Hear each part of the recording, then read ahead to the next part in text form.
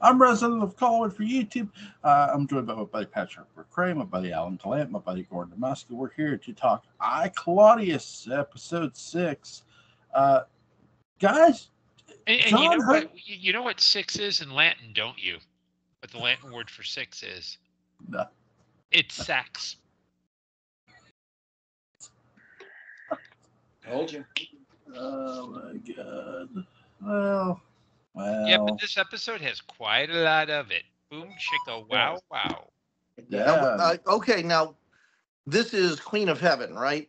yeah, yeah, yeah, Yeah. yeah. So, okay, so you're so, so we're all talking about the same episode because it is there is the stuff with um it's not is it Livilla? Yeah. Patricia Quinn? Yeah. Um yeah, I more think of the dying Livia. Yeah. So that's yeah. Yeah. And that's a you know, a scene in bed as well. It For is. what it's worth. I, you know. It's all in the stack. You, you know who else is in this episode? John Hurt. John Hurt is in this episode. Yes. The the adult Claude um, um, um, Caligula has made his way, and he looks nothing like you, Jewel. What's what's up with that? Well, see now, when I was a kid, I had blonde hair. So Were you more of a Malcolm McDowell or more of a John Hurt? uh, I was well, my blonde hair. I was more of a uh, how do I put this? I wasn't bleach blonde. Uh, so I was just a blonde hair with some. You didn't use Sun In? No. Uh, You remember Sun In? yes, Yes. Yes. But no, but- I did not have popular high school product when I was in high school many years, low those many years ago. So you guys are who I really like too in this episode is Patrick Stewart. So let's let's talk about him because he has a role to play here in this episode. What did you guys think of Patrick Stewart's character in this episode? He's hooking up Claudius with his his sister. Um, what did you guys think of it? It's it's wonderful. I mean, his scene where he's manipulating Claudius, you don't see her that often. Well, won't be that much of a loss. Mm-hmm. He's he is working smarter, not harder. Right. He is. But he's also chosen this time to completely lay his hand out in terms of, you know, he's going he's he's going for the big score right now. Yeah. And and Mhm. You know the I think the the actor who makes him look even better is the fellow who plays Castor. Who's sort of the anti Sejanus. Yes. Anti anti. He's Yeah. Jules is afraid we're, we're going to give him castor oil, and Oh. so he has fled the uh, he's Scene. fled the scene. Gordon, what'd back. you make of this? I thought, I'm- you know, it's nice to see Patrick Stewart Uh, not play a, uh, a a staid, you know, kind of boring guy. I think he really relishes playing the villain. Yeah, and I think it's it, it- it's also nice to see Patrick Stewart try to get down with his bad self. You know, it's, it's the it's his worst self. It is. And it's also it's it's a it's he gets to play so much of that in subtext uh, in this particular role. It's just like it's just sort of bubbling under the surface. Oh, I'm such a nice guy. I'm thinking of you. You know, it's like the um, it's like the song from um, what is it? Um, Man of La Mancha. They're only thinking of him. You know, it's like, oh, I'm doing I'm doing you a favor. You know, and you'll have me as a brother-in-law. Ha ha ha. You know, that kind of thing. And uh, It's a, it's a real bonus. yeah, But if I do a, uh, a question comparison here, okay, I there are- demand it. I demand it, Jewel. I don't just mind it. I demand it. I'm sure you guys have seen the movie uh, Gladiator. Okay, Yeah. yes. so compared to this, which is more historically accurate? um let, let me answer this one. It don't matter. It, it doesn't. But having said that, I Claudius is more historically accurate. There's Yeah. so much BS in Gladiator, but it makes for wonderful, wonderful oh, storytelling. I wasn't there, Yeah. so I can't I can't really weigh in that much. You know, I was. I can tell you. It's just. I think it, the the Mini Cooper company paid a lot to get that that product placement in Gladiator, and that you know it was controversial. Yeah. And, and yeah just plus, want- at no point did any Caesar look like Joaquin Phoenix.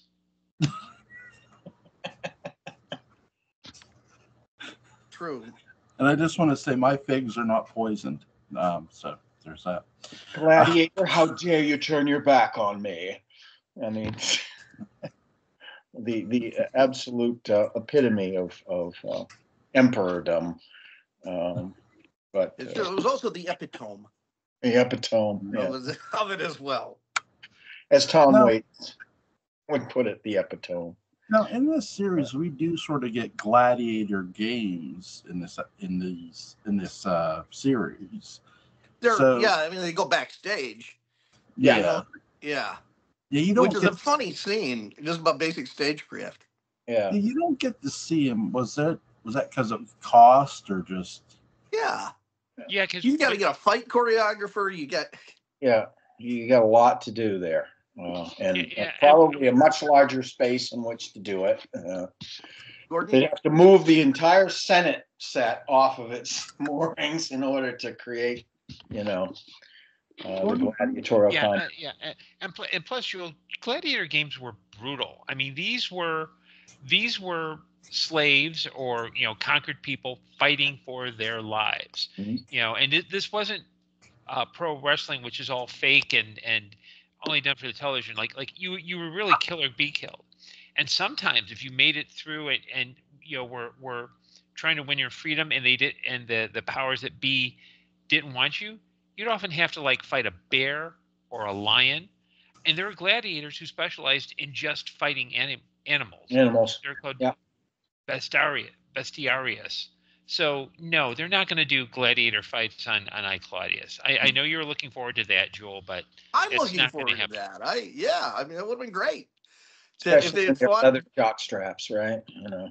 you know, if if there had been a scene of Derek Jacobi fighting a man in a bear suit, which I think probably was at the wrap party, Uh-huh. uh, but uh, but not before. yes. Well, I think too. They do give a great illusion of it because you do hear crowd cheering. Sure. Sure. I, Well- I think they they do a great job doing that, rather than Sure. to show the islands and stuff. We talked about that in the last episode too. where, You know, we we talked about um, you know the the how limited they were with their budget, but they turned that into a motif. Yeah. You know, of we're just we could focus on all this Alexander Korda kind of s- spectacle, but we're gonna focus. God, I sound like James Dobson. Focus on the family. But they do. This episode, I believe, is the most spectacular of all the episodes where you get, you know, a whole dozen uh extras kind of milling around in the background, the the marketplace scenes. And and in a way, the marketplace scenes do feel a little out of step with the rest of the show. They're a little claustrophobic because of the space I think that they had to work with. They're a bit Well- claustrophobic, but they're still good atmosphere, I think. Oh, they're, they're fine atmosphere. By out of step, what I meant was that seeing such a large scene, Instead of more the intimate scenes that are consistent. yeah, in an exterior, you know, the the uh, the prostitute contest at least is happening sort of indoors for God's sake. Right. Uh, don't, don't not in the yard, guys. Come on. Uh, Well, maybe the courtyard. The lawn darts out of there. What, Alan? What? Maybe the courtyard. In the courtyard, yeah, Yeah. by Marriott. Uh, but um, but yeah, that that that works. I mean, I'm happy to see the marketplace scenes, and there's there's a funny marketplace scene I think coming up in uh, one of the Caligula episodes, uh, where uh, they've screwed up the statue or something like that. Oh, yes, I remember that. Yeah, Yeah. Claudius is not happy. Yes.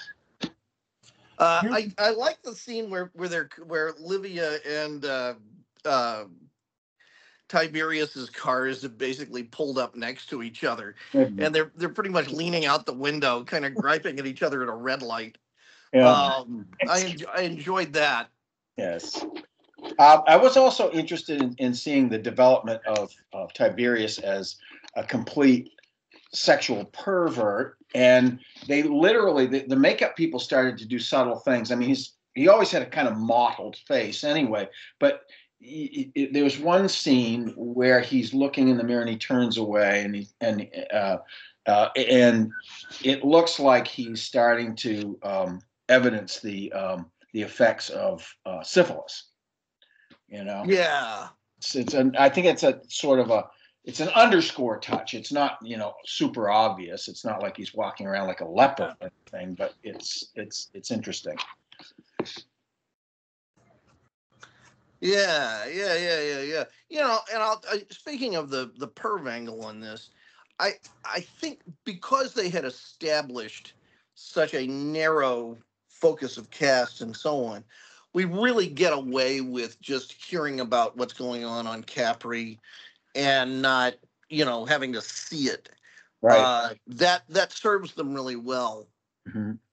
Yeah, I mean that whole opening scene in the in where they're lounging around, you know, post orgy or whatever, eating orgy or whatever, and the the the wife just goes into this whole story about she and the daughter being, you know, accosted by the emperor, and uh, What an opening scene! like amazing scene. You don't know where, you know, the first time I saw it, I absolutely no idea where this is going because she sets it up like, oh, this is I have a surprise for you, and then it's like this enormous shock. It's really well written. It's it's incredible.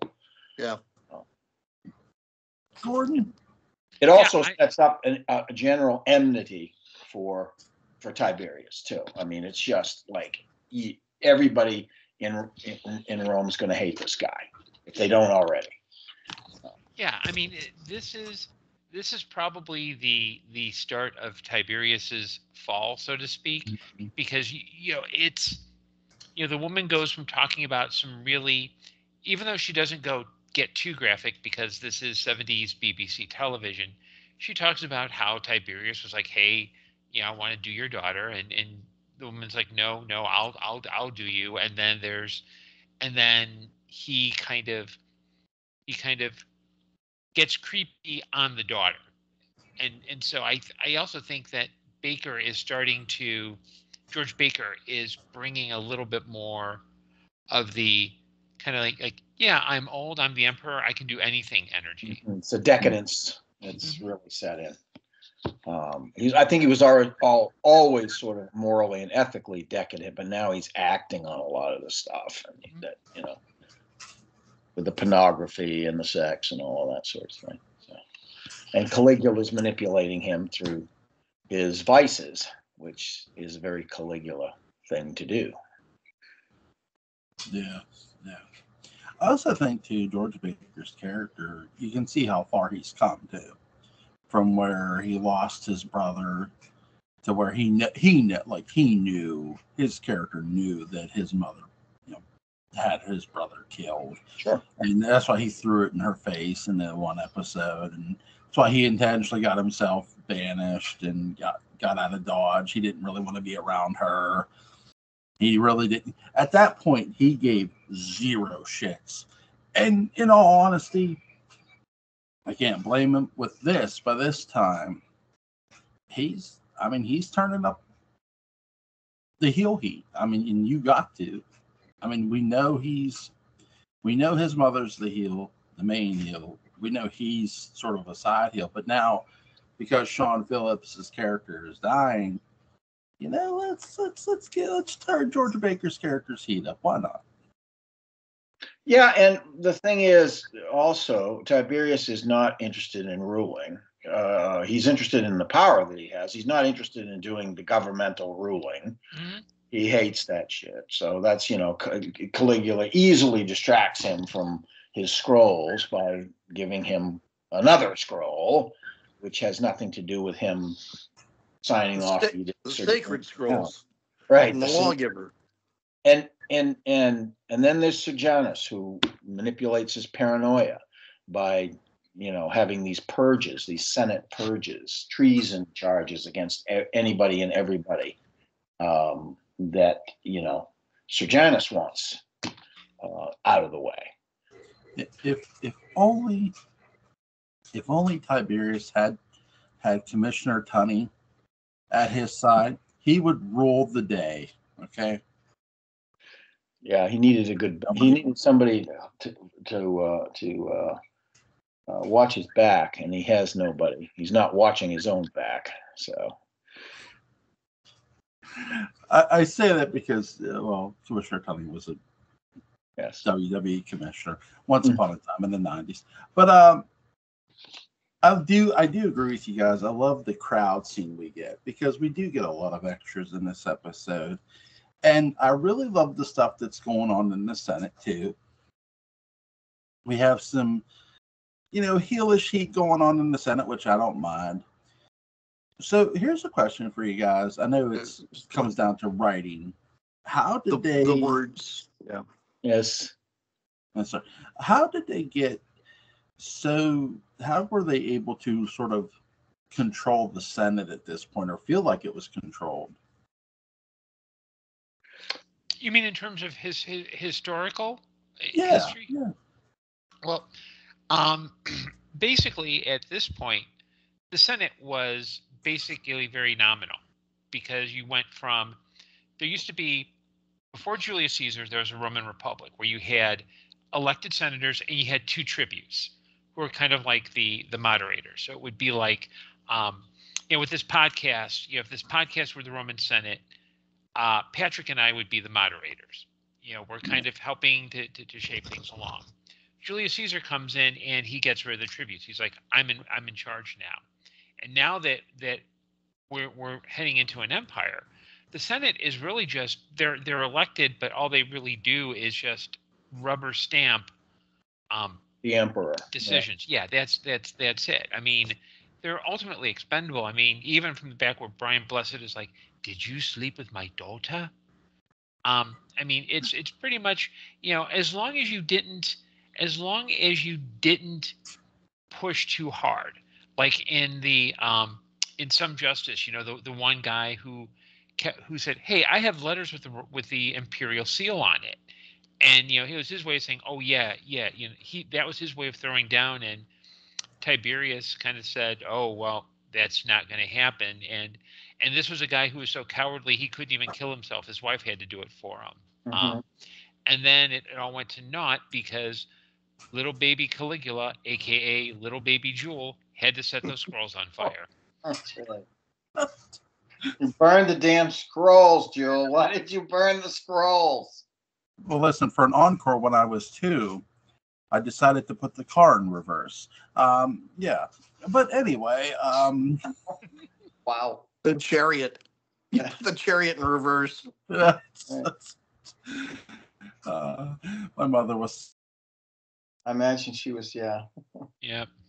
beside Uh, herself with pride. I do.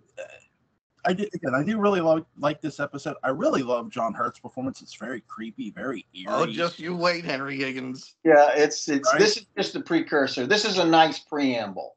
Yeah, He's yeah. sort of introducing his slyness in this episode and, and, and a bit of his corruption. But Yeah, yeah. Wait until you see the Sundance, Jewel. I think I think you'll be. I, I I've seen this Sundance. I've seen Yeah, this but No, you, no, no, you the were Sundance- watching special features on Once Upon a Time in, in America, uh, right? Or Once Upon a Time in the West. Yeah. Yeah, you didn't. yeah, really yeah, see yeah, yeah. There's this isn't the same as the Sundance and Once Upon a Time in the West. It's a totally unique. Can you imagine Charles Bronson doing that?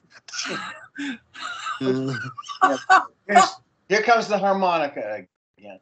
Oh my god. Oh my god. No, I for I did watch things. this all the way through. I will say that there's a it, there's going to be a scene where this woman gets tied up, and he, he- John Hurt's character Caligula does find out that she's pregnant prior to this, and he after they don't show what happens. He comes out the room, his mouth's a little bloody, and he goes, "Don't go in there, don't Yeah. go in." I There. mean, it's That that's in the future, Jewel.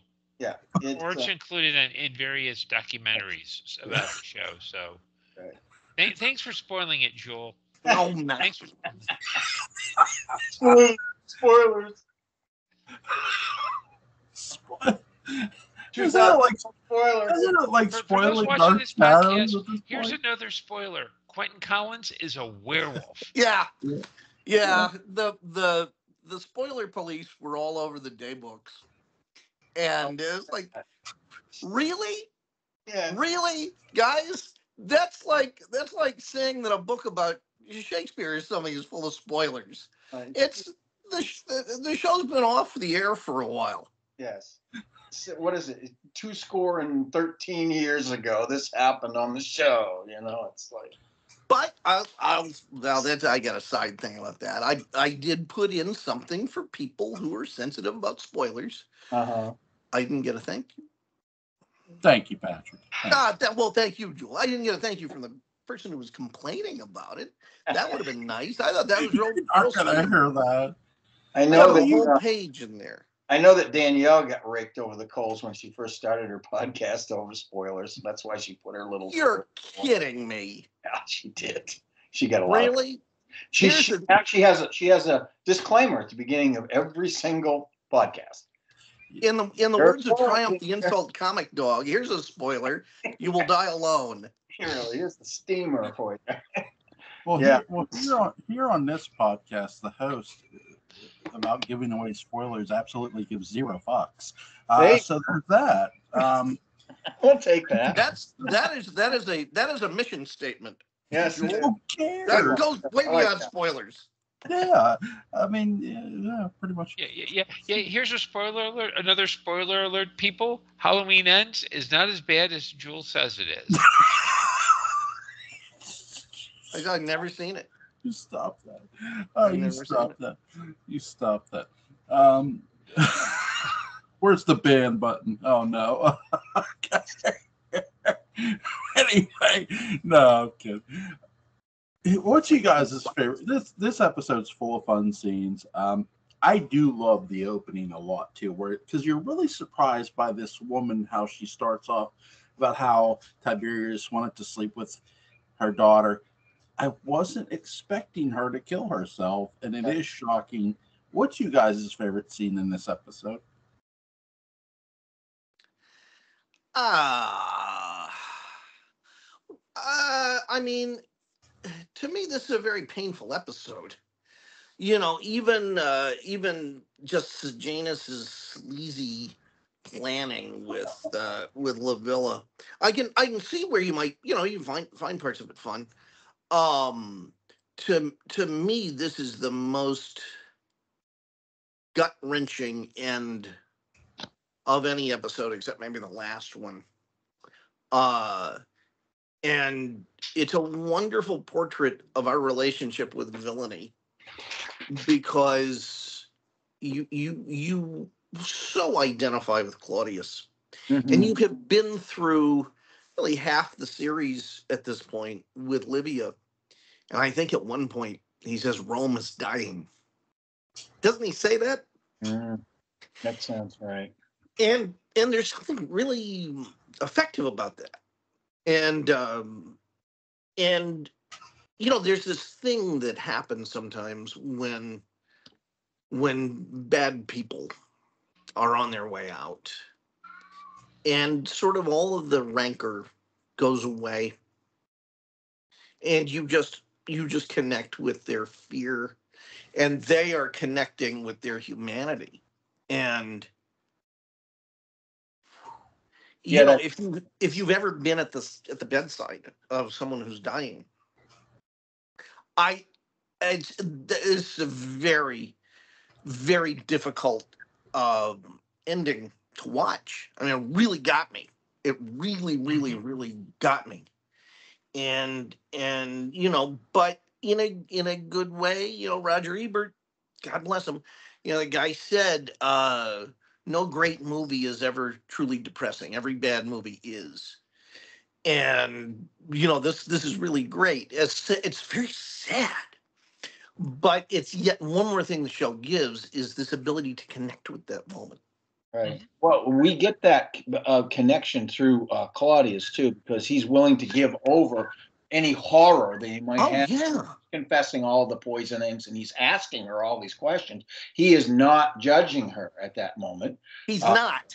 He's not. He's just because that's she is she's uh, approaching her m- mortality there, and of course later in the episode she's actually is dying, and and he, goes to visit her again, and and the, the, then the issue of her humanity becomes I don't want to go to hell. I want to be a goddess, so I don't have to go to hell. You know, and it's like it's it, it is it's sad. You actually feel for this person that you just vilified up to the point where she becomes human and and um, Siân Phillips really makes that happen I think along with uh, you know Yeah. Gordon, what do you think? Yeah, I thought the end the, the ending was just it's a gut punch, especially since it, it you contrast it with Caligula's scene with Livia, where he's all, "Oh, you're not a goddess and you're an evil woman," whereas Claudius actually shows her a lot more compassion than she's shown him throughout the entire series Mhm. you know where she's where she talks about like and when she finishes you know put a coin in my mouth which is in you know in in at that time you would put a coin in somebody's mouth because they would have something to give uh, To the Charon. ferryman yeah to Charon, take our sticks Mhm. yeah yeah and the thing and, is and who would play, who play Mr. Roboto on endless repeat That's right. Well, that's when she goes to hell. okay. Um, but it's it, it interesting that her her her attitude towards um, Claudia changes too. I mean, she's it starts with, "Oh, I see your stutter has gone away," and from that moment on, it's like, "Okay, you're not a moron. I've suspected this, but now I can I can really see that you're not." That and and she whispers to him, "Play the fool." It's one of the last Again, she says to him, play the fool. Keep doing it. Because, you know, well, it's it's like what they say in Big Red One. You know, the only glory of war is survival. and she also And- knows she also knows about the prophecy. She gave him the prophecy that he was going to become Yes. the emperor. So mm. Yeah. she figures that's that's the way to do it. That's the way I- out. I think that moment where he actually does put the coin in the mouth is such a sign of of respect. Mhm. You know, and he's doing that, I think, as much for him as for her, as to really, you know, remind himself that, you know, he is someone who will keep his word. Mhm. Absolutely. And also And- he's appreciative of the fact that she she never considered him to be one of her targets. Even even in in vilifying him as a moron all those years and but coming to the realization he wasn't. And she tells him everything. And she's not going to poison him after she tells him everything.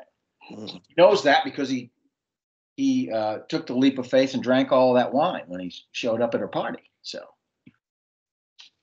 and she took it as well. Huge was- compliment. yeah, exactly. She took note of it, and that's when that's when that respect between them crystallized, I guess, for that episode. For that episode, And it was- What a what a mature character he is Mhm. in the best sense, you know.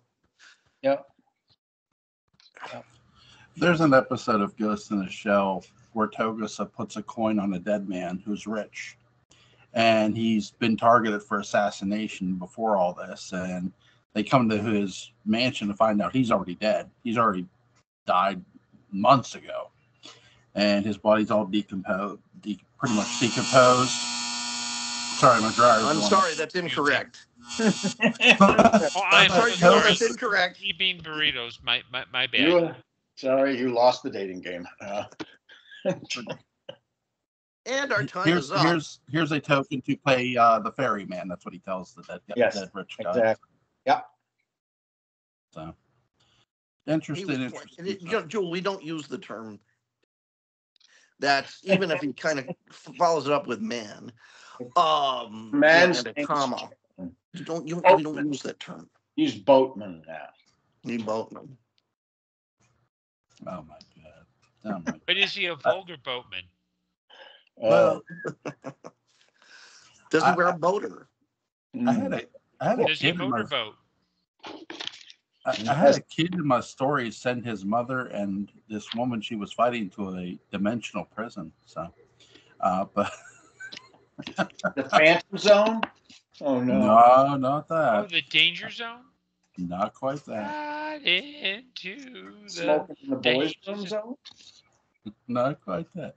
But with this, uh, No, Jewel, I'm sorry. With You're this incorrect once episode- again. I think you should. You, you can should, have our should take on change that. the ringtone on your phone right now because that buzzing is annoying.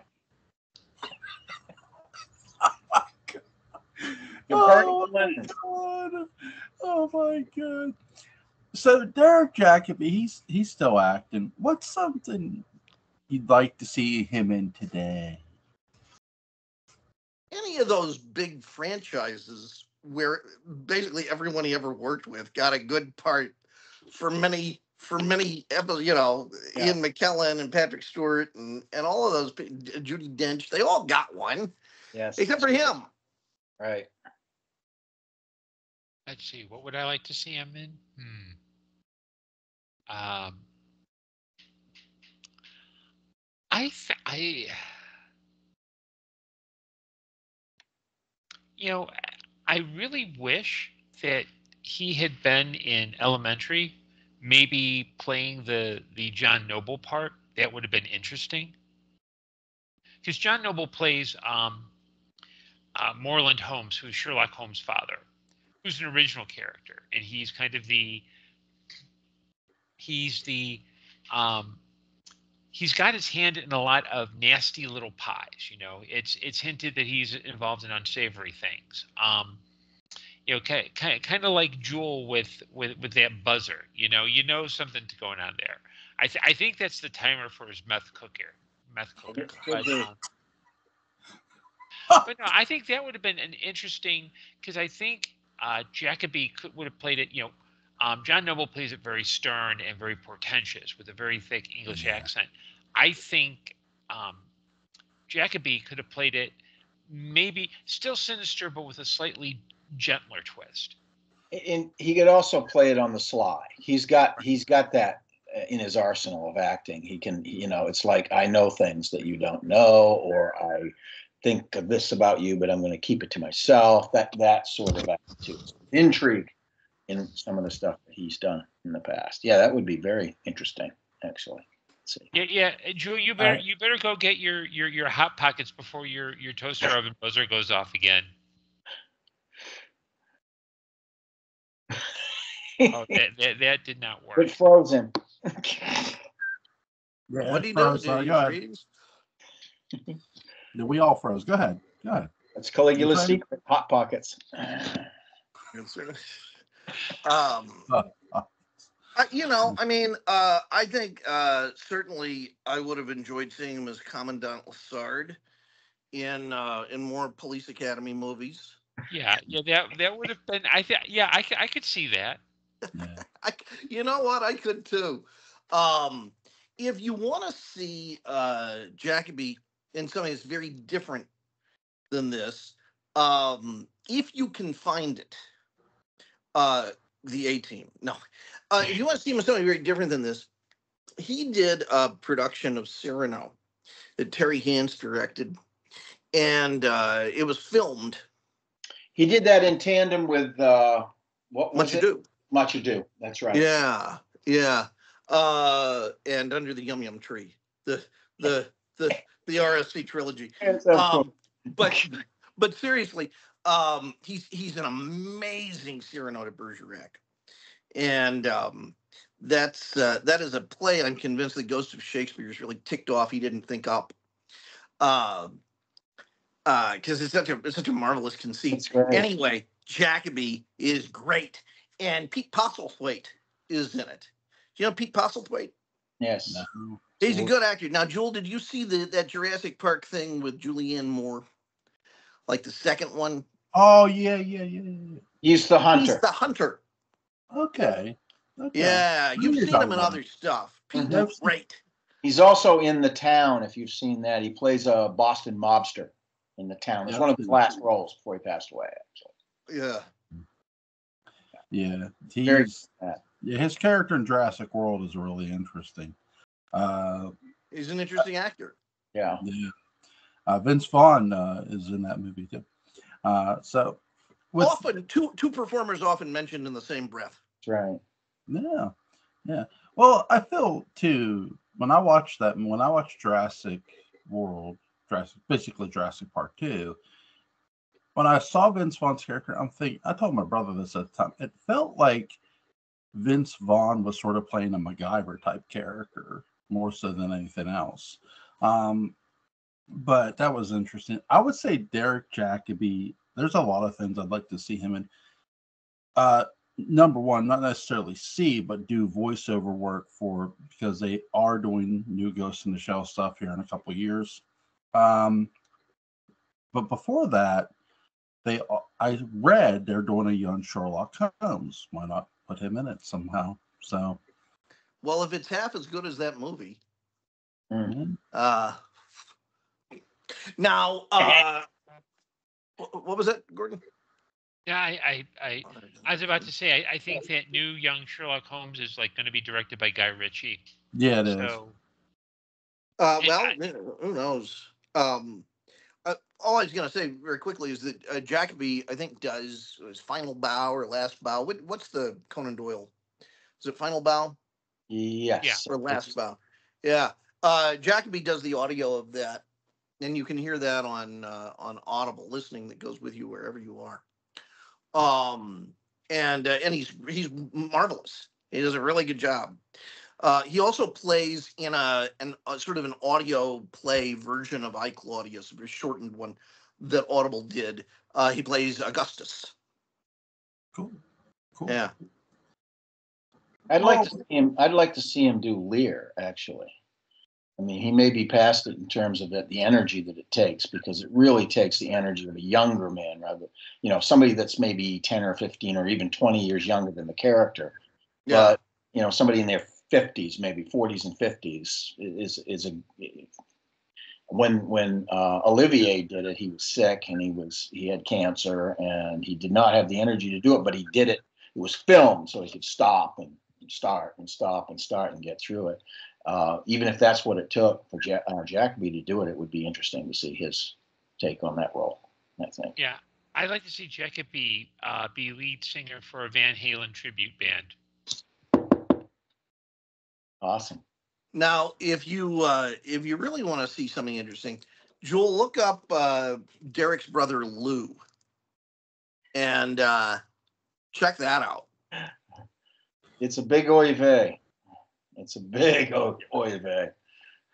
Especially in the movie Everything You Always Want to Know About Sex, but We're Afraid to Ask, God. Yeah, which is a real movie. Uh, it is a real movie. Lou Jacobi. Oh, he's, he's doing it. Oh, hold on. Hold on. They they were identical twins. Oh, for the love of You didn't know that Derek Jacobi was born in Brooklyn, did you? Wait, he di- wait, he di- he his brother died in 2009. It wasn't really his brother. Oh, okay, okay. I, we were just pulling your leg. He's Yeah. the time to make the donuts, man. Oh, And he would have been my choice for Captain Picard. Oh. Can you imagine Lou Jacobi as Completely Captain? He different was great. it's like, what are we doing here? negotiating with the board. says here Lou Jac- It says here Lou Jacobi was he was also a stand-up comic. Yes. Uh, he played violin, made the spoof record albums Al Tijuana. Uh, okay. I didn't know any of this. Yeah, he's he did everything: film, television, Broadway. and He did a ton of work. Yeah, his middle name was Bricant. Yes. yes, okay.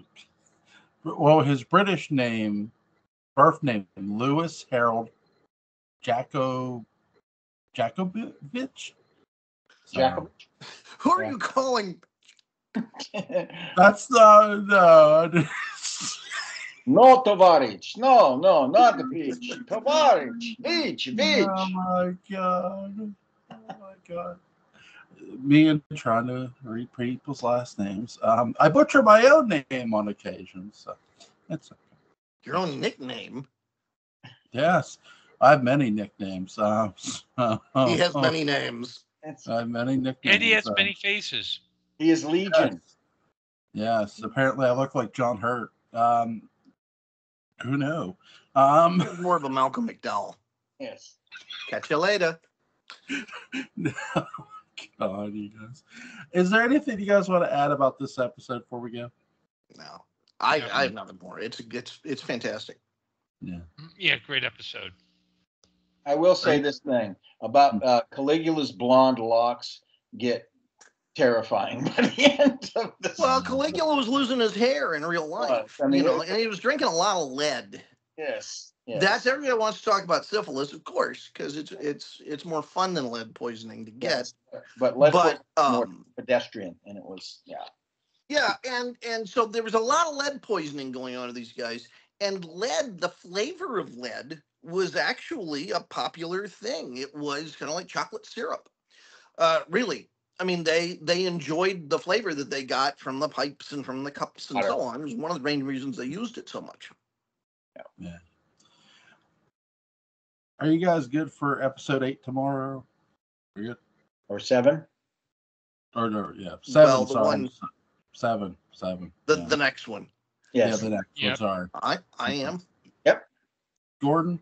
Yeah, I'm I'm good. cool. Cool. All right.